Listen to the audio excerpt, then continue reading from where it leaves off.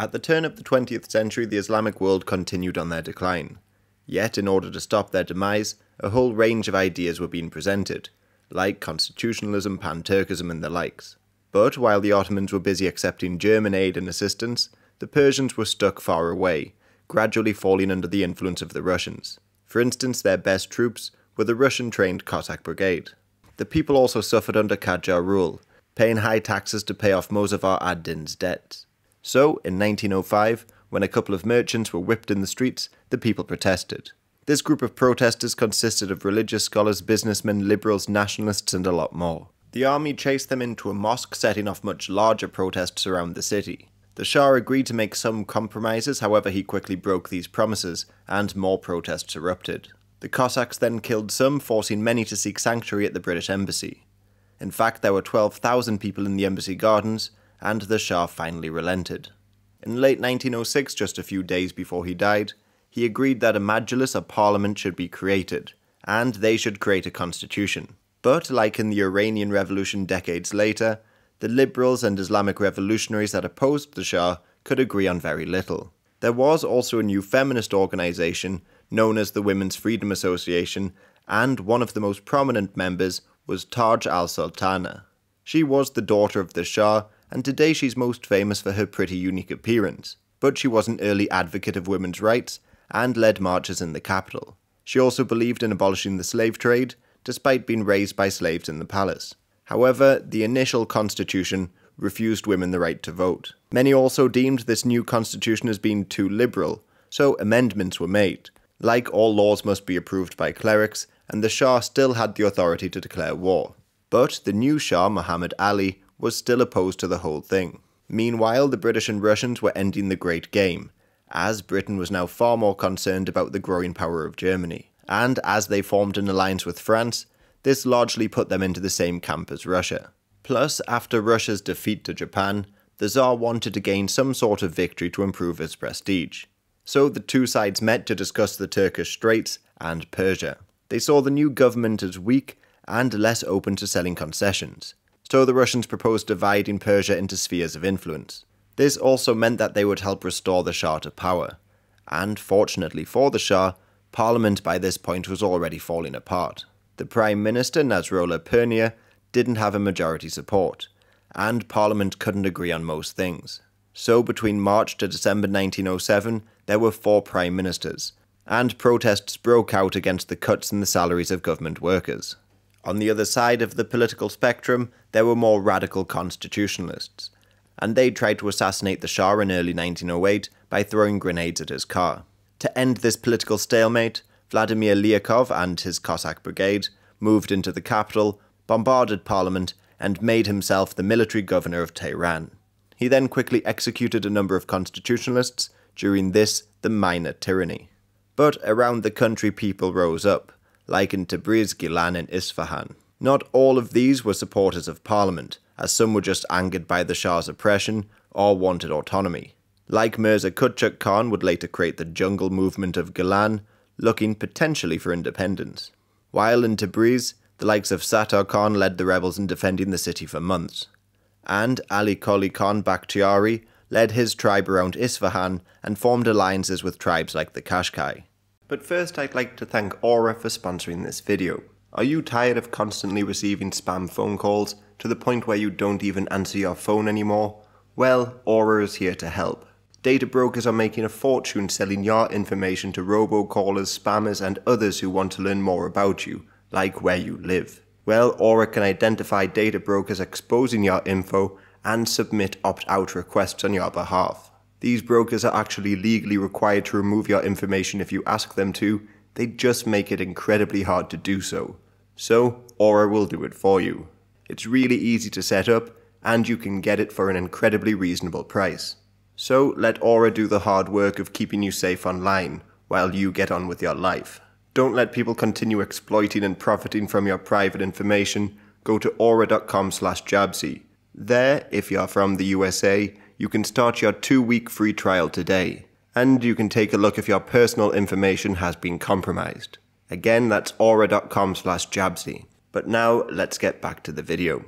Rebellions continued to spread, and they began to advance on the capital in 1909. The Russians, trying to put pressure on them, decided to invade Persia and march on Tabriz yet again. But the rebels continued and took over the capital, in what has been called the Triumph of Tehran. Parliament was brought back, the Shah had to step down in favour of his son Ahmed, while many of the royalists were executed. This actually included many prominent Islamic scholars like Sheikh Fazlullah Nori. But the Russians still entered Tabriz and tried to put forward their demands. However, negotiations constantly broke down, so they remained there crushing rebellions throughout the First World War.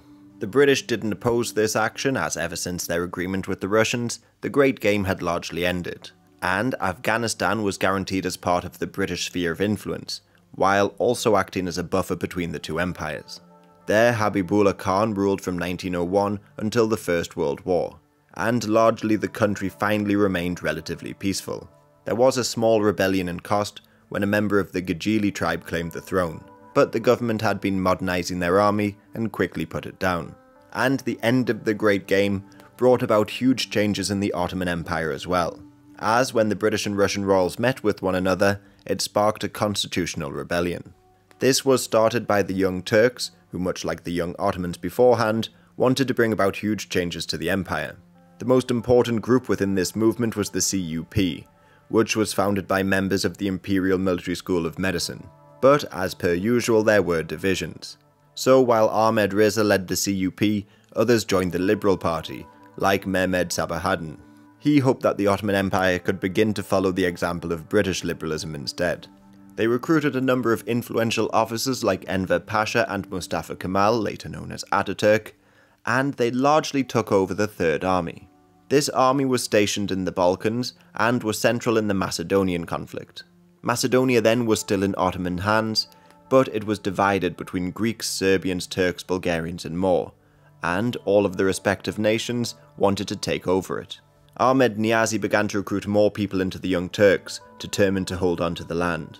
And then, when he heard that Tsar Nicholas and Edward VII met with one another, he became convinced that they were going to partition Ottoman lands again. So Niazi, along with Enver Pasha, took a band of soldiers into the mountains and rebelled. It was all poorly planned though, but as Niazi said, it was either death or the salvation of the fatherland. Many soldiers deserted to join their ranks along with many local Albanians and even Bulgarians in Macedonia, who were promised equal treatment.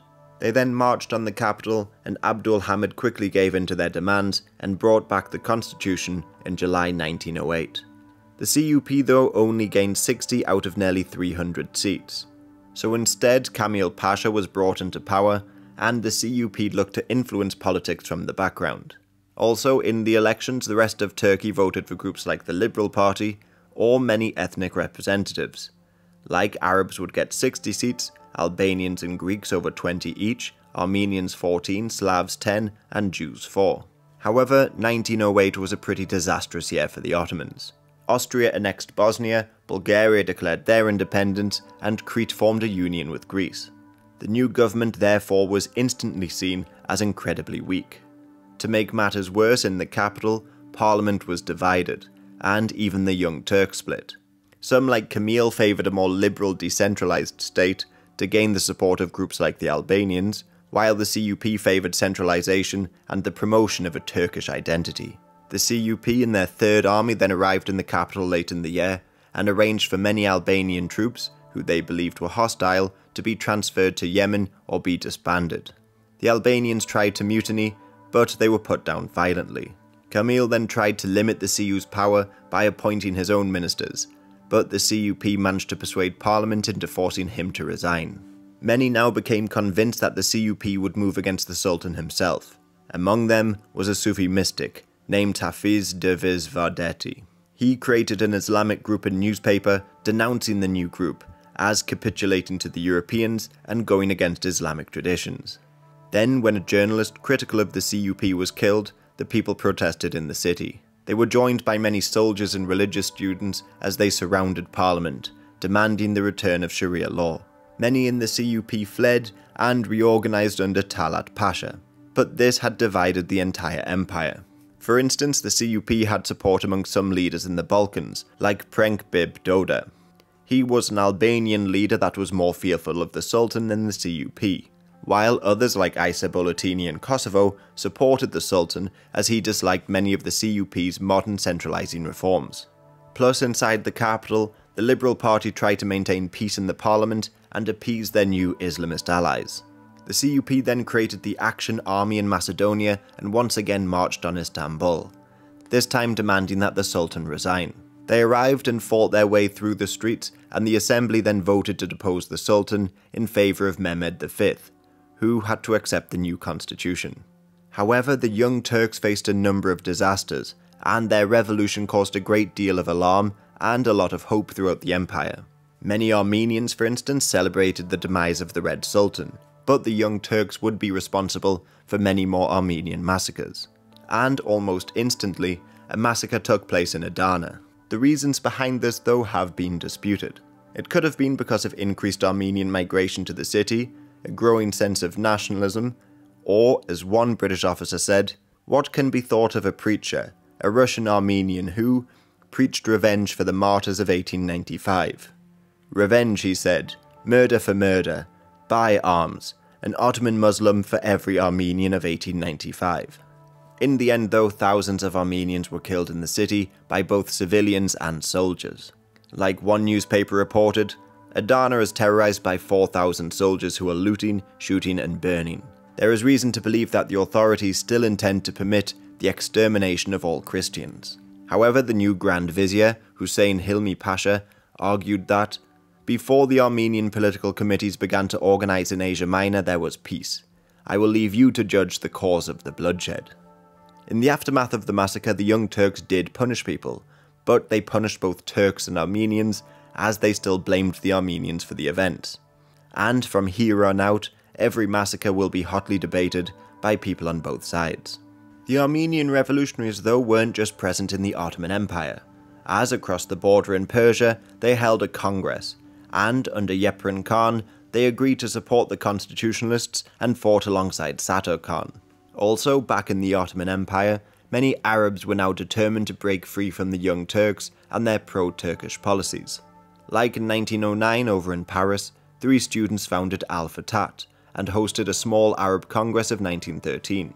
This would also include Rashid Rida's more conservative Arab League Society the Covenant Society, which was mainly composed of Iraqi officers, and the Ottoman Party for Administrative Decentralization, founded in 1913 in Syria. The goals of these groups ranged from independence for Iraq and Syria to restoring the caliphate, and from liberalism to Islamism. Plus, the intellectuals at the Congress were mainly based in the Levant and Iraq, meaning leaders in the Arabian Peninsula were left out. At this Congress, though, they did create a flag bearing the Arab colours, and then they returned to the empire. Yet the real independence movements truly began in the Arabian Peninsula. Like in Kuwait, Mubarak had already asserted his independence and began supplying weapons to the enemies of the Ottomans.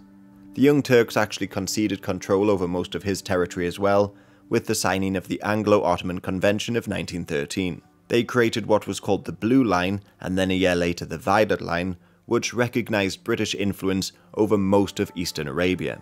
This was still at a time when the Turks were losing lands, so they desired to have some sort of ally on the world stage. Britain, though, would agree not to annex territories like Bahrain, while the Ottomans largely withdrew all of their claims. And this land would also include the empty quarter of Arabia, or Rub al Khali. However, as the name suggests, it was mainly empty. And the first foreigners to cross the deserts here were Bertram Thomas and St. John Philby in the 1930s. But just across the border from Kuwait in Basra in southern Iraq, the Ottomans had to face a number of challenges, starting with the Muntafiq.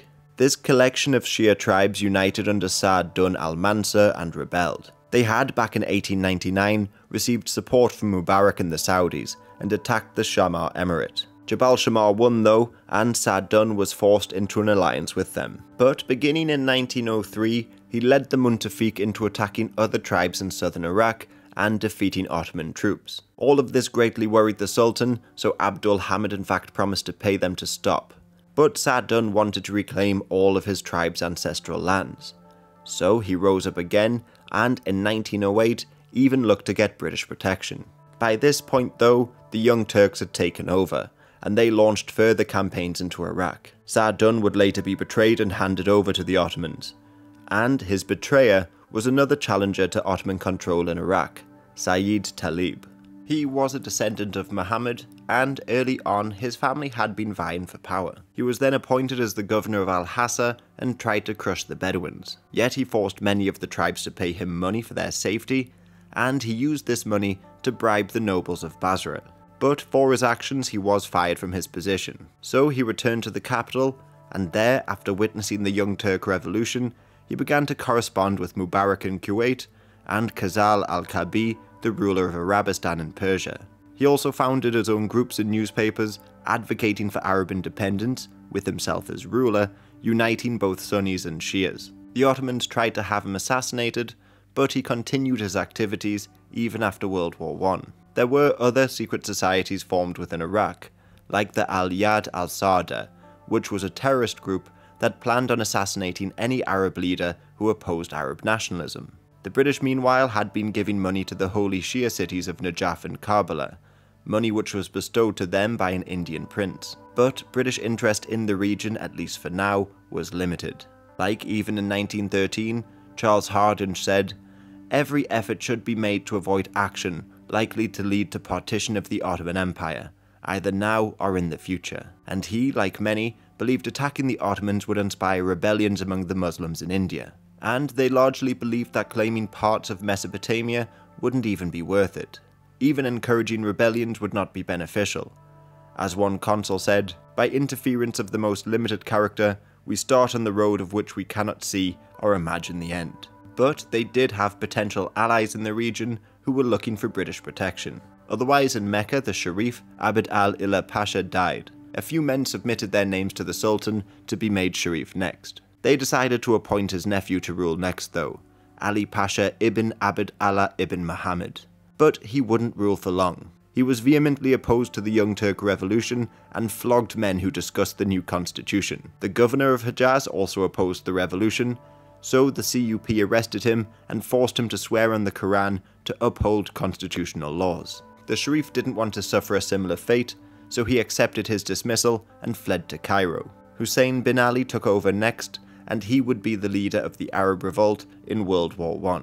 However, I should also say that there was a Grand Mufti within Mecca at the same time. One of the previous Muftis was Ahmad Zaini Dahlan. He was a critic of Wahhabism and a supporter of Sufi practices. He also approved the use of radio devices for religious purposes and music in religious festivals. So in general he believed that Wahhabism would divide the Islamic world and ultimately destroy it. But elsewhere in the late 19th century, he supported Islamic rebellions in Sudan and Indonesia, while tutoring some of the most influential people, like Ahmed Raza Khan Barelvi, who would go on to found the Barelvi movement in South Asia, which counters the more radical Deobandi movement. And in Arabia, he taught Hussein bin Ali, the new Sharif. Once Hussein was in power though, he began to grow suspicious of the new government in Turkey and their promotion of Turkic identity, especially when construction on the Hejaz Railway began in 1908. Many Arabs feared that this would bring Turkish troops and their oppression into the region, and thus wanted to stop it. But here in Arabia still, there was no real talk yet of pan-Arabist ideals. Further south in Asir, anti-Turkish sentiment continued to grow, and Sayyid Muhammad ibn Ali al-Idrisi rose in power. He was the grandson of an Islamic scholar named Ahmad ibn Idris al-Farsi, who again wanted to revive the religion. Well, in 1908, Sayyid was made the new Imam of Asir, and his tribal allies began to take over towns the Ottomans could never fully restore their power to the region, especially as the Italians, in their war with the Turks, would bombard Turkish bases here. This new religious group in power in Asir would promote strict Sharia law, and during the First World War, they largely sided with the British. The Ottomans were also losing their grip on Yemen as well. Here, the Shia Zaydi people had long struggled against Ottoman occupation, but in the early 1900s, these fights intensified. Like in 1904, they rose up in Sana'a once again and forced the Ottomans to negotiate. When talks were delayed, there was another rebellion in 1911. This coincided with the Italo-Turkish War again though, which I'll get onto in a little bit. The Ottomans therefore feared that the Italians in East Africa could exploit the situation. So the Treaty of Dan was signed, granting Zaydi control over northern Yemen. Yahya Muhammad Hamid al Din was made the new Imam of this autonomous but essentially independent state. And Yahya would continue to rule in Yemen until long after World War I. The Arabs were also rebelling in the Levant. Back in 1900, the Shubak revolts broke out against heavy taxation. This was nothing out of the ordinary.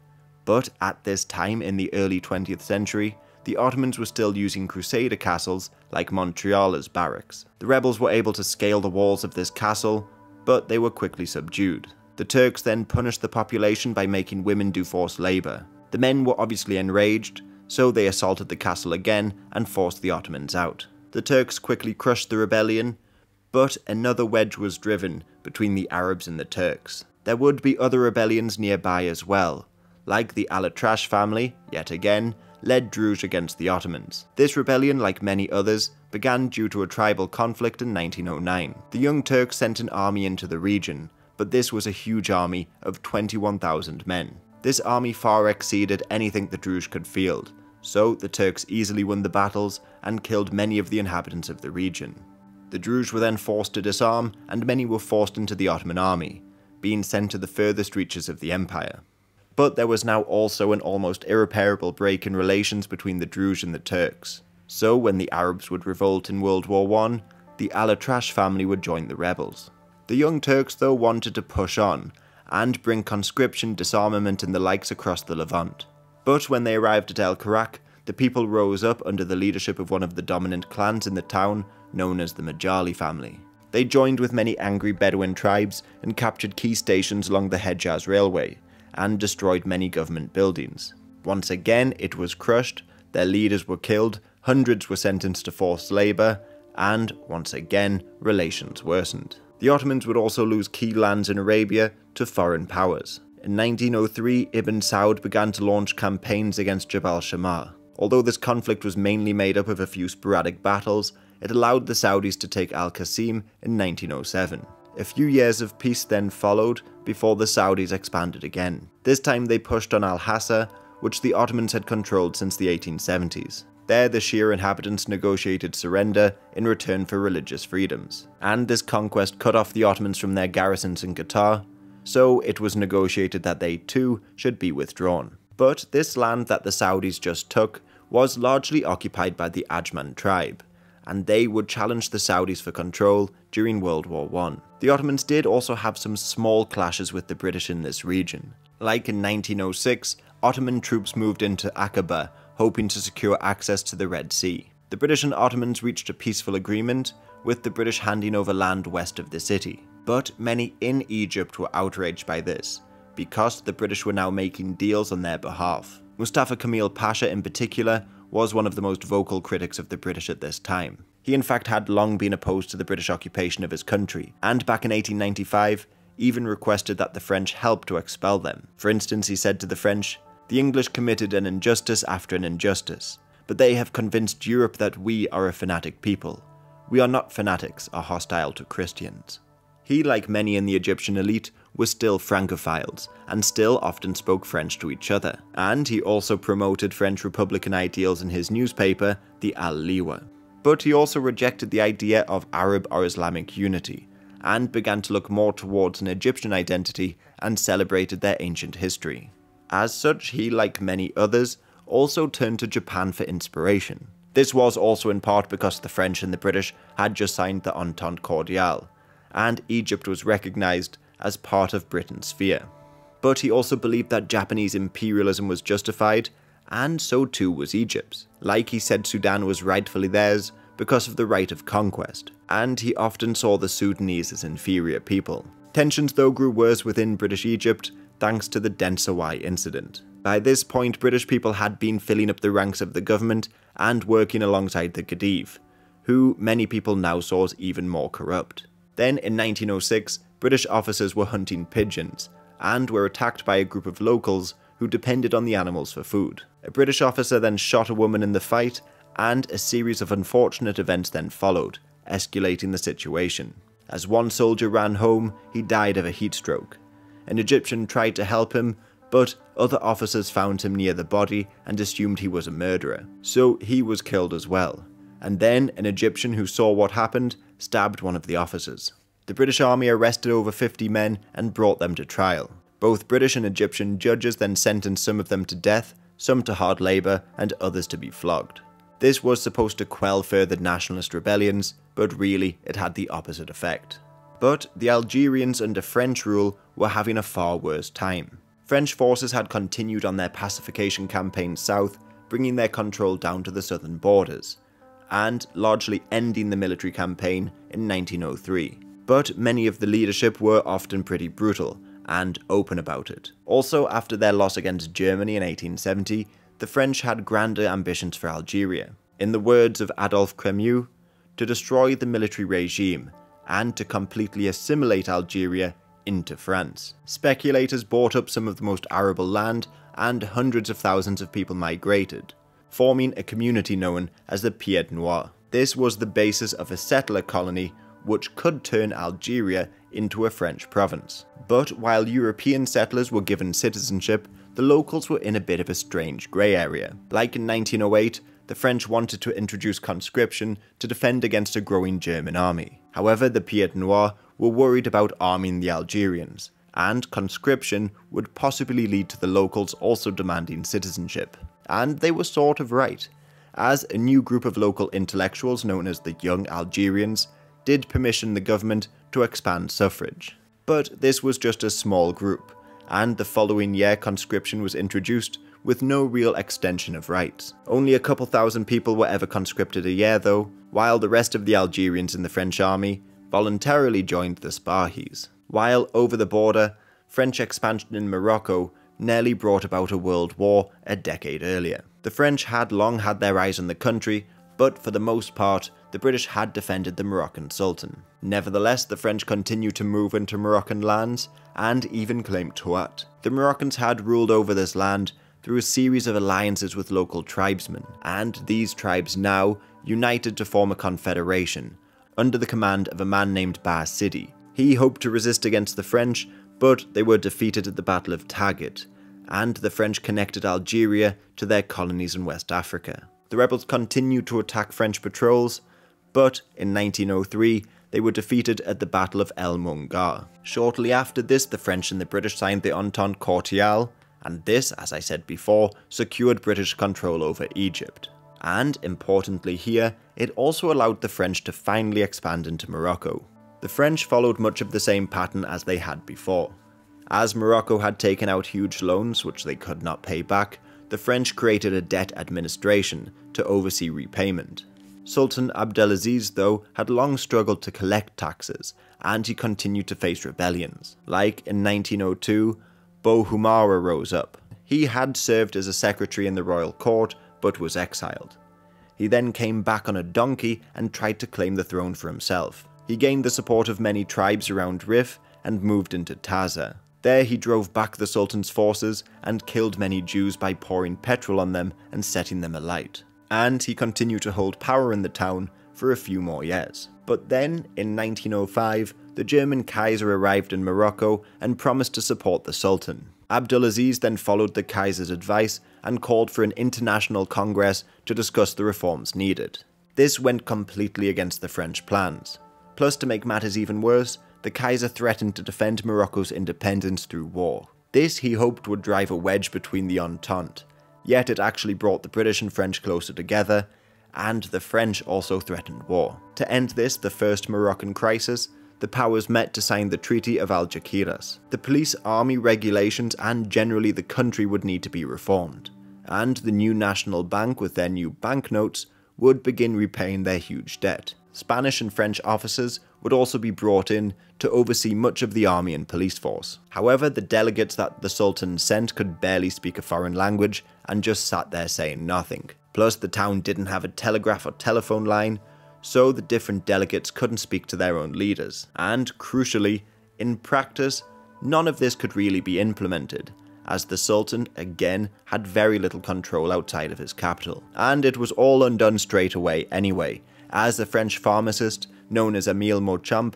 was assassinated, and the French press called for war. Oujda and Casablanca were quickly occupied in 1907, and the Moroccans, realizing the Sultan was too weak to do anything about it, turned to his brother, Abd al Hafid.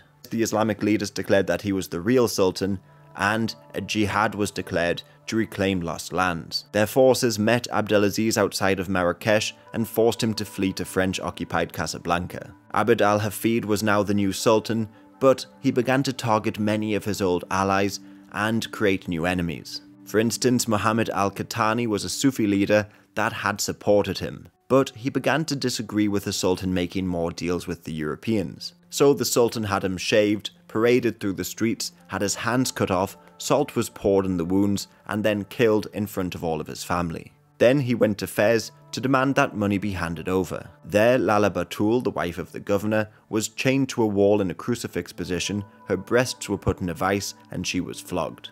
Meanwhile, in the north, the fake royal Bu Humara still controlled lands. To make a little money, he sold mining concessions to the Spanish, but this brought him into a conflict with Spain's old rivals, the Rif tribes. Under Muhammad Amazian, they attacked the Spanish mines, and, working with the Moroccan army, they defeated Bu Humara. Most of his army were either beheaded or mutilated in public. As for Bu Humara, he was put into a small cage, and then, according to some stories, thrown into a pit of lions. The new sultan was therefore a pretty despotic ruler. However, the chaos in the north allowed the Spanish to launch another campaign in Melilla, after many of their miners and railroad workers were killed by Rif tribes. The Spanish, though, had signed the Pact of Cartagena with the British and French, promising to maintain the status quo in the Mediterranean.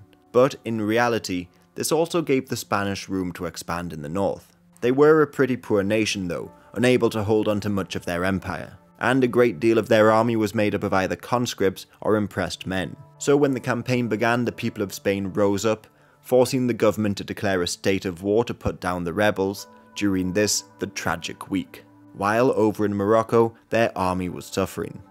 Rifian guerrillas decimated their advances, forcing Spain to bring in reinforcements. With their help in 1910, they took over Cape Tres Forcas through numbers alone. The following year, the Sultan faced tribal rebellions around Fez. They had suffered under his despotism, believed he was surrendering to European influence again, and hated many of his reforms, particularly in the restructuring of the national army. The Sultan called on the French to save him as he was besieged in his palace. The Germans also sent a gunboat to Agadir to monitor the situation, but this started the Agadir crisis. In theory, the Germans were protecting the Sultan, but behind the scenes, the French and the Germans were negotiating a treaty. In this treaty, the Germans would receive land in Central Africa and allow the French to take over Morocco. The Spanish then once again expanded in the north. As the leader of the Rif tribes called for a jihad, another campaign was launched, and once again the Spanish won. The French and the Spanish then met to partition the country in 1912,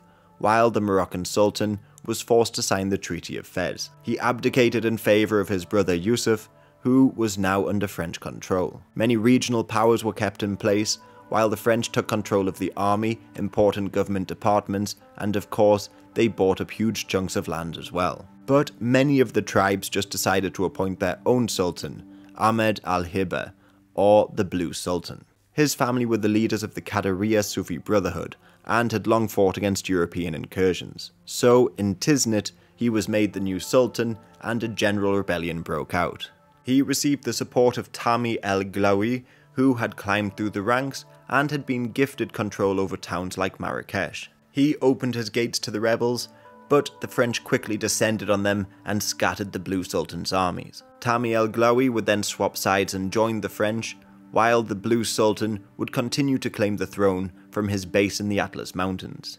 The French, though, would continue to make more enemies as they tried to take control of the lands between Taza and Khenifra. Here, leaders of powerful confederations united, like Moha o of the Zayan Confederation. They once again declared a holy war against the French, and attacks on pro French tribes began. The French could not subdue this new rebellion, and further campaigns into the region were stopped as troops were quickly redeployed to Europe at the beginning of World War I. But back in Europe, though, the Italians had been denied Tunisia, and now they were being kept out of colonial efforts in the Mediterranean. So they focused on acquiring Libya, and began incentivizing investments in migration to the region, while their press called for an invasion. Italy at this time was part of the Triple Alliance with Germany and Austria, but they still decided to get approval from Britain and France for an invasion. The Ottomans were already growing wary of such an action, so began sending ships with ammunition to Libya.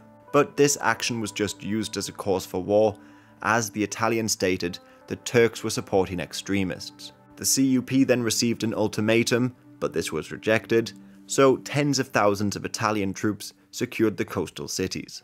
The Ottoman navy at this point was no match for the Italians at sea, and the British prevented them from moving on land through Egypt. So Enver Pasha, Mustafa Kemal, and others snuck into Libya and began to organise a resistance, turning the conflict into a stalemate. The Italians dug trenches and used some of the latest military technology, like armoured cars and planes. In fact, the first ever aerial assault was carried out during this war by Giulio Gavotti. To break the stalemate, the Italians changed tactics. In early 1912, they blockaded ports in Yemen, reducing Ottoman influence in that region, and defeated their navy near Lebanon. Then, in the summer, the Italians moved troops in to occupy Rhodes and Kos. Over in Istanbul, the loss of Libya, along with rebellions in Albania, further weakened the prestige of the CUP. After all, they had taken power to defend the nation, but now they were losing land. So, in July 1912, a group of officers who called themselves the Saviour Officers launched a coup. These were really just supporters of the Freedom Party,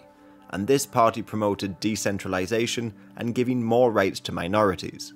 So they had support from Albanians and others. Plus, they were more liberal and wanted to copy the British system, all of which the CUP opposed but this coup largely began because of the election of 1912. During the campaign, both sides came up with bold accusations and often resorted to violence. In fact, it was actually called the election of the clubs because many of the CUP beat opposition candidates with clubs and sticks. In the end, though, the CUP just rigged the election and won 269 out of 275 seats. So the saviour officers got support from the Minister of War, Mahmud Shevket Pasha, and after some unrest, the Grand Vizier resigned. As you can probably see at this point though, nobody truly held much power. The Sultan wielded some, the Grand Vizier had a lot, but they often ruled for less than a year, many of them just for a couple of weeks or months. And whoever held parliament had power as well, but they often had disagreements within their own parties. So a new non-partisan cabinet was created by Ahmed Muhtar Pasha.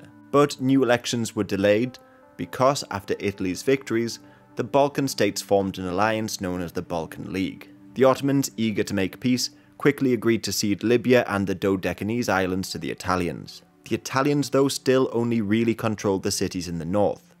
The countryside was the domain of the Senussi order under the leadership of Ahmed Sharif. If this Senussi order had declared their independence, they would actually have had a huge empire at this point. They already had connections with Somali dervish rebel leaders like Nur Ahmed Aman, and they joined Dud Murra of the Wadai Empire in their fight against the French. The Turks though now had to deal with the First Balkan War. Serbia, Montenegro, Greece and Bulgaria having signed an alliance all declared war at the same time. Ahmed Muhtar Pasha resigned after being caught completely off guard, and Kamil Pasha took over. He however had to deal with humiliating defeats. The Greeks captured Thessaloniki in late 1912 and the Bulgarians were moving incredibly close to Istanbul. The Ottomans were poised to hand over huge chunks of land once again, so the CUP wanted to come back to power. In January 1913, Enver Pasha marched on Parliament, and in the ensuing firefights, some people were killed, including Nazim Pasha, the Minister of War. But this wasn't actually the plan,